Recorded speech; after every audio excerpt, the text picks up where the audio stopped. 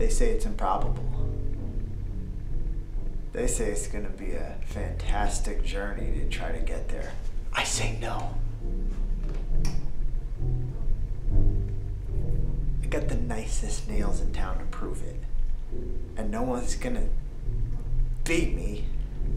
They're just gonna have to line up and start sucking my ass when they see these nails. Immaculate they truly are.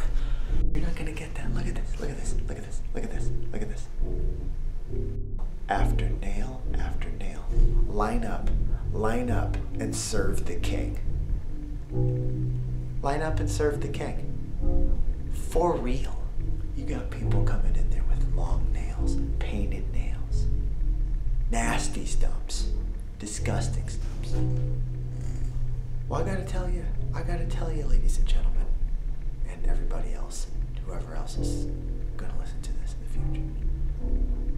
I got the nicest nails in town, bro. You're gonna be lining up to suck my ass. Again, third time I've said that. The last time I'm gonna say that. You think that something like this is not gonna be helpful? You're dead fucking wrong. You're dead fucking wrong.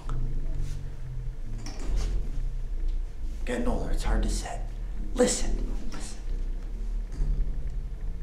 These nails are beautiful.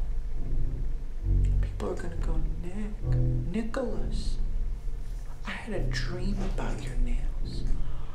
I had a dream that your nails were extremely obtuse yet romantic in their in their presentation, but but their character was that of a of a best friend likes to who likes to serve himself a brand new plateau. I've never used half of those words in my entire fucking life. You want to call me up and text me a couple times? You want to email me? You want to send me a telegram?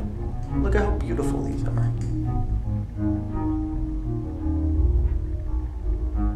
and then wish yourself to sleep.